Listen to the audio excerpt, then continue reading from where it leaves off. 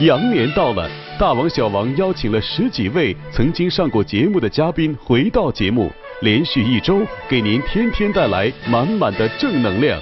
那么今天首先登场的是谁呢？这是一个特殊的家庭，两年的时间，三次来到大王小王，他们和大王小王有着不解之缘。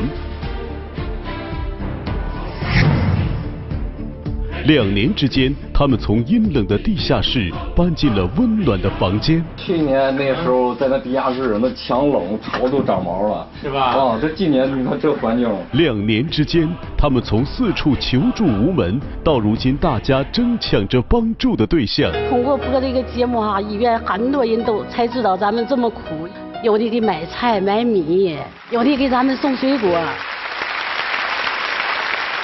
王新鹏在国外打工的时候出了车祸，于是变成了今天这个样子。他的妈妈、他的弟弟一直对他不离不弃，认真的照顾他。在他们最困难的时候，来到了大王小王。今天他们第四次回到大王小王的舞台，掌声有请王新鹏一家。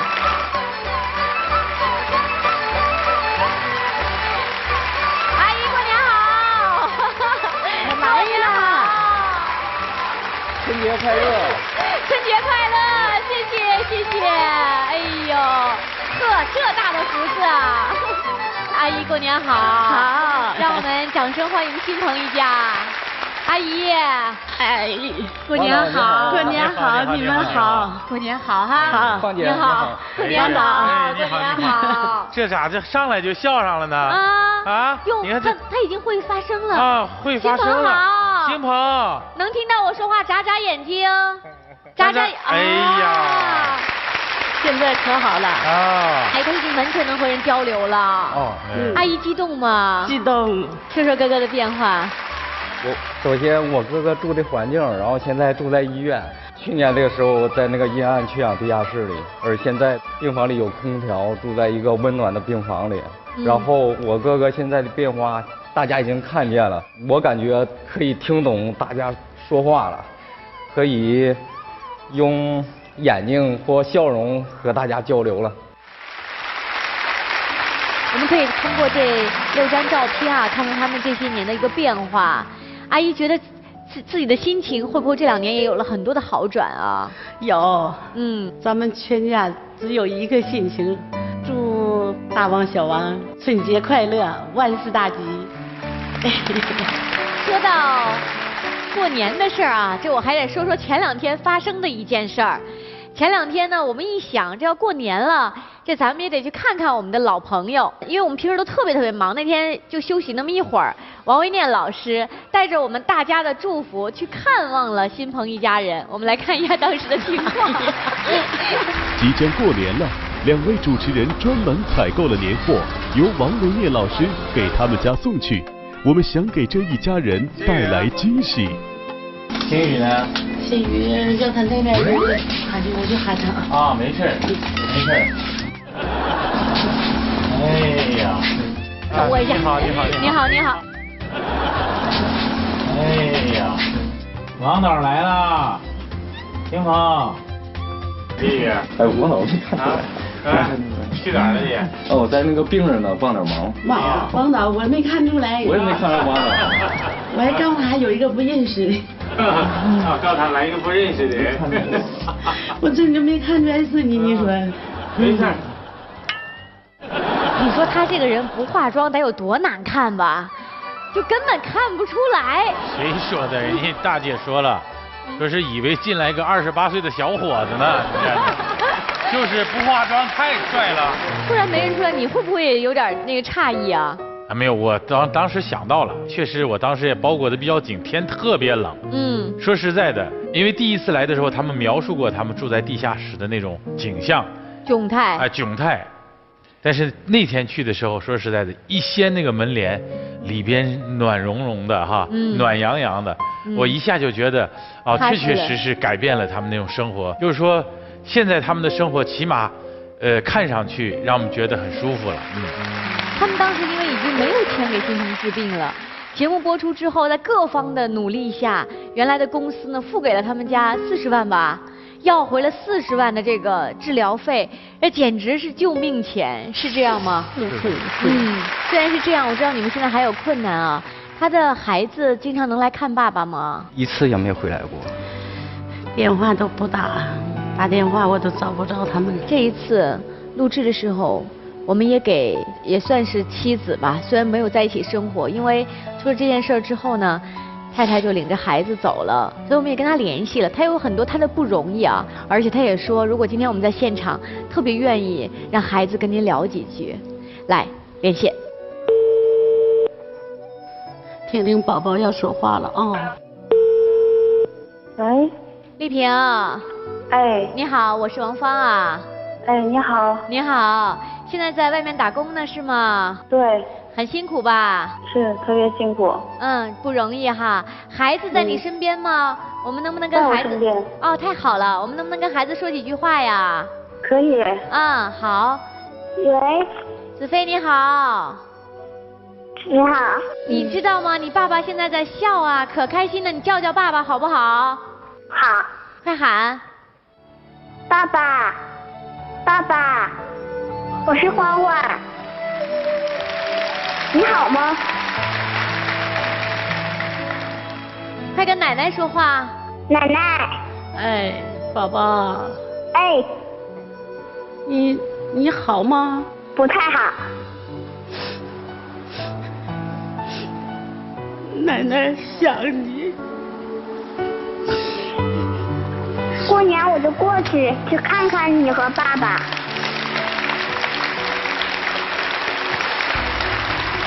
你想没想你多长时间没看到爸爸、奶奶、老叔了？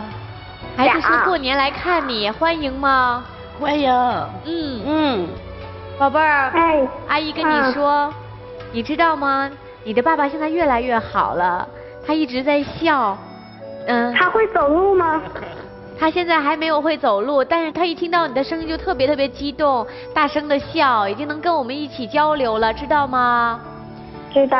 嗯，我跟你说，呃，你是一个懂事的孩子，你一定要想尽办法多来陪陪奶奶和爸爸，好不好？小孩子，小孩子说。好。嗯，真好哈。呃，来，我来跟妈妈说两句，好不好？好。好。丽萍啊。哎，是这样啊，这个我们在现场呢，很多观众可能都能看到这期节目。我知道你现在自己很不容易，但是我真心的恳请你，呃，有空的时候把孩子放到奶奶这儿待一段真的，爸爸这样的身体状况，如果女儿能在他身边，可能对于早一点唤醒他有很好的作用，好不好？好。非常感谢你，谢谢你，给你先拜个年好吗？谢谢。也祝你新年快乐。嗯，你要不要给你的婆婆拜个年啊？您帮我带一个好吧，我那个过完年可能会带孩子看一看他们。好，一定啊，春节一定回去，好不好？嗯，好。谢谢你。客气。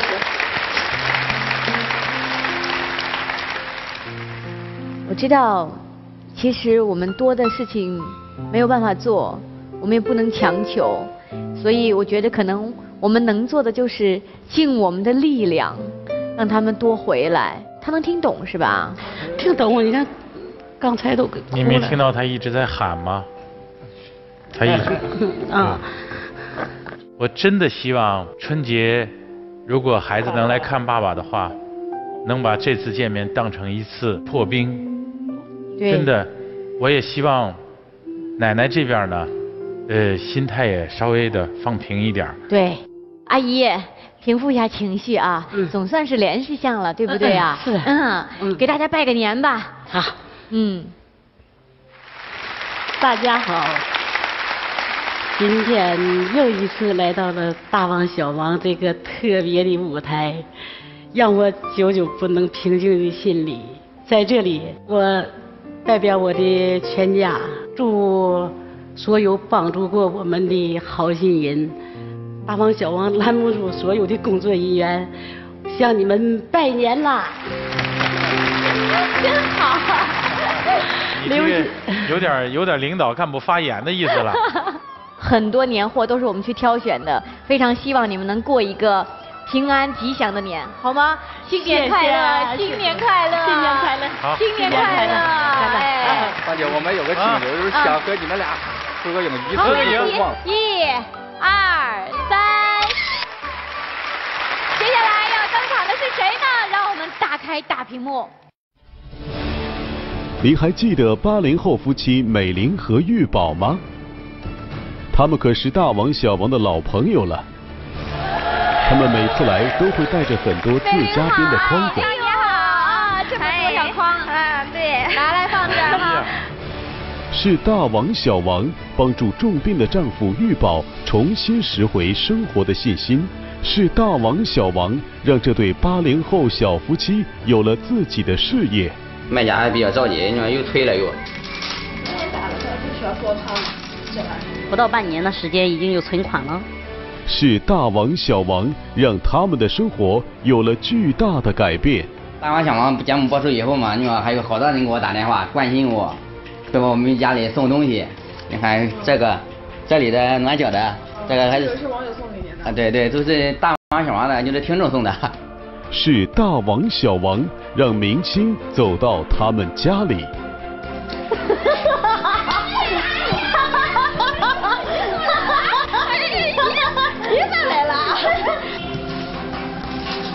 不是他说这个这个汤，对啊。别看。节之际，他们再次来到大王小王，会给大家带来什么样的惊喜呢？掌声有请下一位嘉宾。大家好，大家好。大家欢迎欢迎欢迎，哎，大家拜年了。哎呀。哎呦，太好了，放这儿，好这么多呀！天哪！哎呀，朱玉宝同学，这个给大家问个好吧。大家好。我们来自山东的王美玲、朱玉宝，他们的呃救助他们的爱心明星是我们的山楂妹，欢迎。谢谢谢谢，大家过年好，给大家拜年了啊！啊，那个阿姨，我待会给我留点压岁钱哈。这个，咱们先给大家介绍一下这些东西。嗯，现在先汇报一下情况啊。上次节目播出当天销售了多少钱？快两万块钱了吧？活了，火了吧？太火了，火了，太火了。哎呀，玉宝啊，你现在是不是忙着接不过来活啊？啊，对对。问题他刚才还跟我说的是，他庄上的妇女都都羡慕嫉妒恨，都 羡慕嫉妒他，是不是啊？我每次来在现场都会卖点小筐。今儿咱们也继续卖啊！想送人，想送人啊！哦，那么这个大的我想送给你。这样吧，你们这些筐子呀，你算个账，我们栏目组呢把它收购了，然后呢，今天表现好的观众，热情的观众，一会儿送，好不好？对，咱也别老让人家观众买，对啊，对不对？咱观众也不容易。对。我听说咱们这儿亿万富翁不是特别多，就来了三十多个，是吧？呃，咱们一会儿呢啊。你现在还有愁事儿吗？没有了。原来说你们俩这个一点都不富裕。现在不差钱了。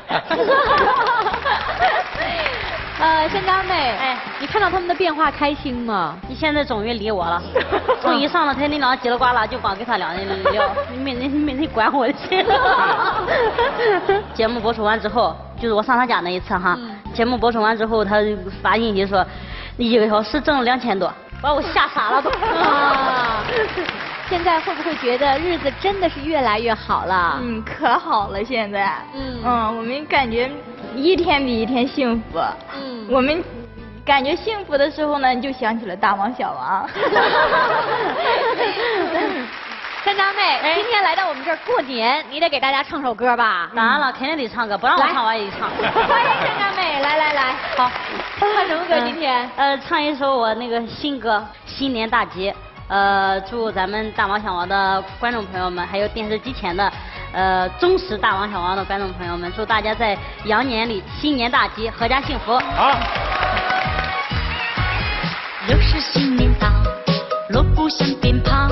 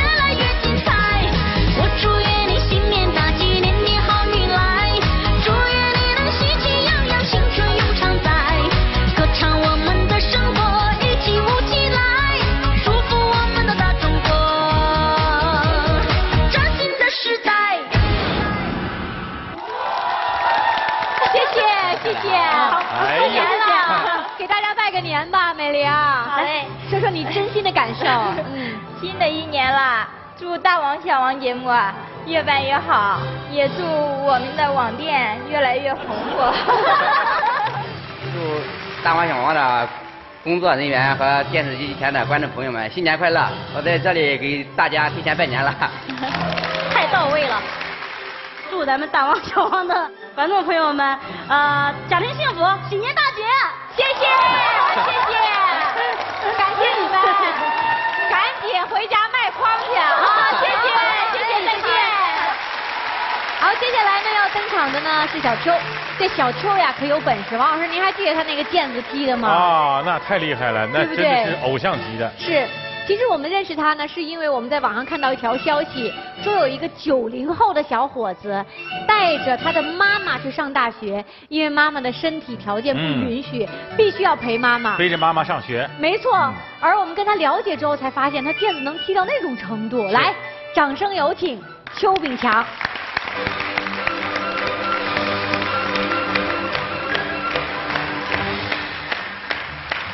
欢迎小邱。观众朋友们，大家好。新年一年，祝福大家身体健康，万事如意。谢谢。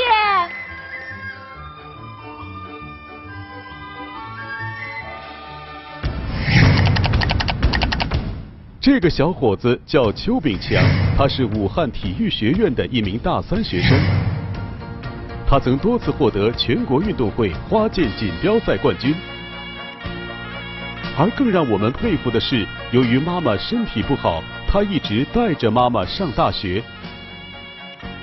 你好，你好，又见面了，小秋，过年好，你好，你好，你好，你好，哎，秋妈妈好，你好，哎，我看妈妈精神状态很好啊，啊，比上次来好多了。节目当天播了之后，就很多人给我打电话，啊，然后就是节目的效果比我预期还要大，就是反响。你根本没有想到，对，没有想到，这个一档节目会有这么多人在关心。对，非常多人打电话，还有发短信给我，也也有就是鼓励我的，也有说给我一些帮助的。嗯。呃，包括我现在走到外面，我去市场买菜，连那些叔叔阿姨都认识我了。哎呀。其实，呃，上次我喜欢小秋，是因为我觉得他是一个九零后的孩子，但他说过一句话。我在节目里也多次重复过，他说我的青春已经走完了。为什么这么说？再给我们今天现场的观众解释一下好吗？就是从零八年之后呢，我的父亲因为癌症去世了，然后零九年呢，我的母亲呃工作时候发生意外，导致她现在是中风还有偏瘫，然后从那以后呢，我就开始。带着我的妈妈去上学，嗯，因为我是家里的独生子嘛，所以说所有的家庭的责任，还有所有的生活的一些经济来源，都由我自己一个人来。所以你会觉着你根本就不像同龄的孩子一样。对，因为我要把更多时间放去照顾我的母亲，所以说我跟很多同龄的孩子呢他们的想法也好，为人处事也好。就显得比他们更加成熟一些。对，因为，呃，小秋，我们采访他的时候，我们记者跟了一天，给我们记者累懵了。他属于是早上一起来先给妈妈做饭，然后给妈妈弄着吃完了，然后去上课，中午吧一下课小跑着。就回家，然后路过菜市场还买菜，你记得吗？我们拍到的。然后他走路都是跑着去的，然后给妈妈做饭，给妈妈弄吃，然后再去上课。我们说你晚上有没有应酬？他说他几乎没有应酬。王老师，这个故事好像特别感动您哈。是。嗯。因为我曾经带着我的学生去拍过一个电影叫《背起爸爸上学》，所以当听到你这个故事的时候，我就觉得曾经的那种。呃，深刻的印象居然变成了现实。对。因为那个时候我就在想，会有这样的事情吗？嗯。结果在我的眼前发生了，并且是一个这么帅帅气，并且有那么大本事的年轻人。小邱的才艺特别好啊，而且这个在全国你获得的最高的奖项是什么？我曾经拿连续拿了有四年的全国花剑锦标赛的冠军。连续四年，对，给大家踢两下，随便展示一下。对，这对他来讲就简直跟玩一样。天哪！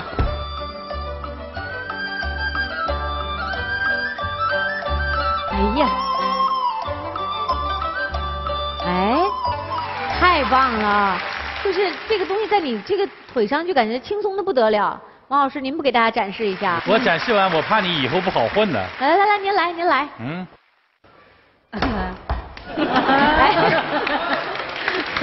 有点状态了，对，有点状态啊，有点状态，有点状态，这真的很不容易啊，阿姨，嗯，上次来录节目开心吗？